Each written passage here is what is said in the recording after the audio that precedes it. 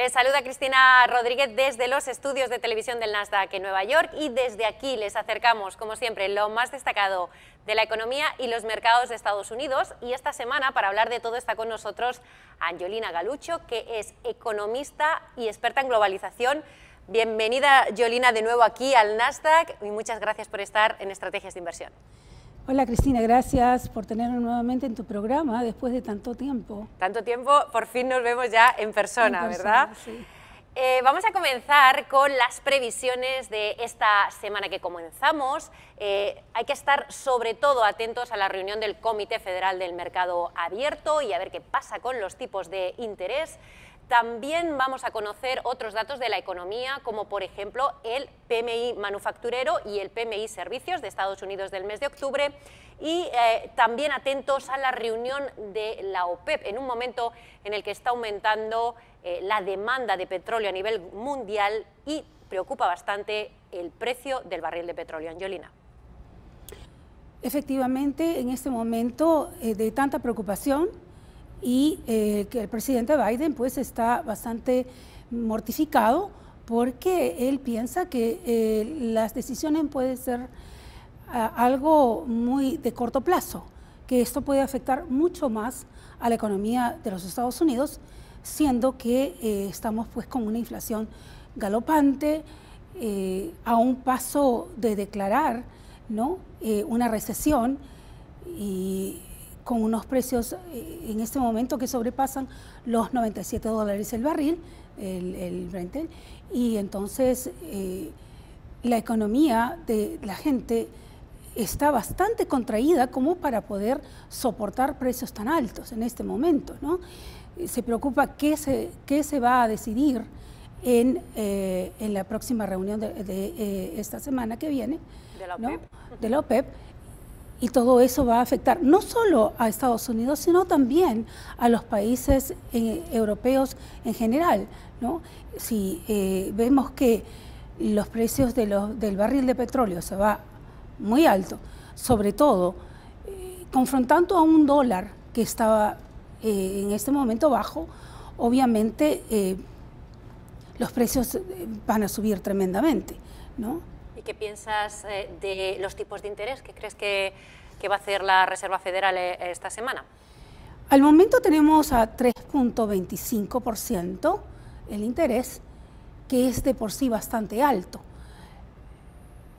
Los consumidores están bastante preocupados y sobre todo los inversionistas muy preocupados porque eh, se cree que la recesión es inminente, ¿no? Entonces quieren tener o tomar con mucho, mucha cautela cada inversión que se haga para que esto no devenga en una pérdida o en un desastre total. ¿no? Eh, aunque a mi parecer yo creo que la recesión está ya aquí, la recesión ya está presente. ¿no? Vemos que hay una escasez tremenda de productos eh, farmacéuticos principalmente, hay una escasez de alimentos, por la falta de la importación y los precios altos en el transporte internacional.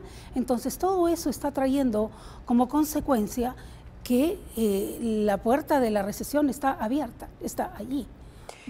Ante esta inestabilidad económica que tenemos, Añolina, un, un dato positivo, que lo conocimos la semana pasada, el del Producto Interior eh, Bruto de Estados Unidos, que creció en el último trimestre un 2,6% después de eh, seis meses de contracción. ¿Qué supone esto en esta situación de inestabilidad? Lo que yo veo es que eh, la industria manufacturera está tratando de desarrollar la manufactura dentro del país y por ello obviamente crece el, el PBI. Eh, se está tratando de impulsar a que haya una mayor producción dentro del país en diferentes rubros para poder dar eh, fuentes de trabajo a la gente que está desempleada. Y aunque el índice de desempleo se menciona en un 3.5, 3.8, eh, es mucho mayor, se ve que hay mucho mayor, mucha mayor cantidad de personas desempleadas que la que los reportes muestran. Entonces, una manera de contrarrestar eso es tratar de incentivar la manufactura a nivel nacional. pero veamos que estamos también cortos de materia prima. Entonces, hay un poco de controversia cómo se puede manejar esto de dar empleo a una cantidad de gente que está desempleada, tratar de incentivar la manufactura nacional para poder incrementar el, el PBI, pero por otro lado, pues no tenemos materia prima hay una escasez tremenda. Esto se viene arrastrando desde eh, inicios de la pandemia. Son ya tres años básicamente que tenemos con esta situación de eh, ajuste, por decirlo de alguna manera, ¿no? y eh, se, prevé que, los tiempos van a ser muy difíciles, por lo menos en los próximos seis meses. Yo no creo que tengamos una tranquilidad económica que podamos decir de que sea una bonanza para el país, ¿no? Eh, la gente consume mucho menos ahora. Las personas están mucho peor ahora que hace un año atrás. Angelina, también importante eh, eh, la salud de las economías de las empresas estadounidenses. La semana pasada muchas de ellas reportaron sus eh, resultados trimestrales. Eh, algunas, bueno, más del 75% de las empresas del SP500 mm, tuvieron resultados por encima de, lo que pensaba el consenso, pero hubo otras caídas eh, bastante notables, como por ejemplo las de Meta o Amazon. En el caso de Meta, que sabemos que manejan las plataformas de Facebook, Instagram, WhatsApp, tuvo una caída eh, principalmente en la bolsa, de más del 24%, creo que fue 24.56%. Entonces, eh, están bastante preocupados de tratar de, utilizar estrategias para poder contrarrestar esa baja que se ha tenido. El caso de Microsoft ha revelado que ha tenido un 18% de incremento con una ganancia de, de, 30 millones de dólares en el último trimestre. ¿no? Entonces, eh, estamos viendo que no son ganancias como las que se han tenido en años anteriores o en épocas anteriores a estas alturas eh, del año, por decirlo explícitamente, todo se debe a la, inflación, eh, al sistema económico en el que estamos viviendo actualmente, con esta básica recesión a puertas, ¿no? Entonces,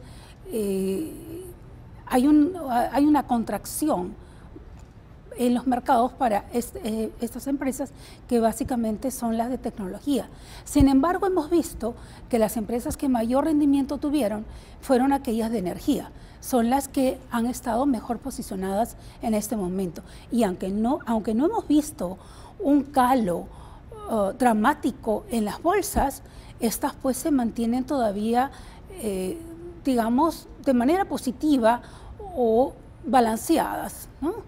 Así lo vimos la semana pasada, que cerraron la mayoría de los días mixtos por esos resultados, ¿no? lo que comentabas, eh, resultados de algunas empresas muy buenos, otros eh, malos y también con ese dato del PIB.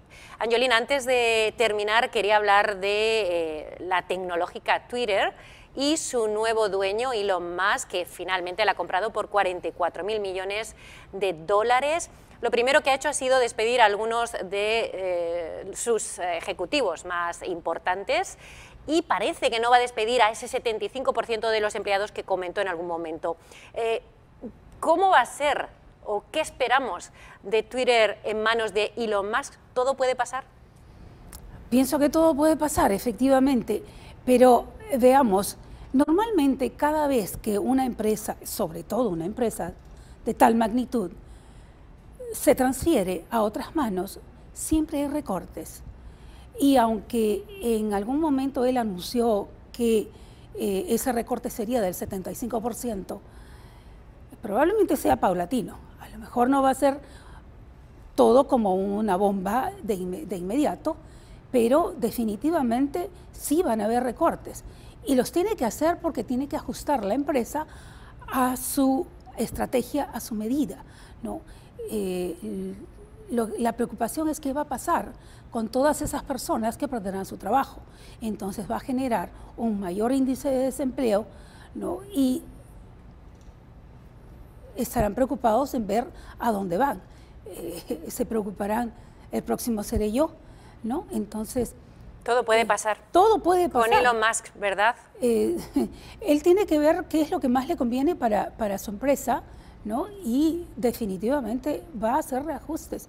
Tal vez no sea ese 75%, pero sí, sí se van a presentar esos reajustes. También veremos qué pasa con eh, la libertad de expresión, la gente que puede o no puede estar en la red social, si volverá Donald Trump y demás. Tendremos que estar pendientes, Añolina, eh, de lo que va pasando con Twitter y sobre todo con la economía de Estados Unidos. Muchas gracias por estar de nuevo con nosotros aquí en Estrategias de Inversión.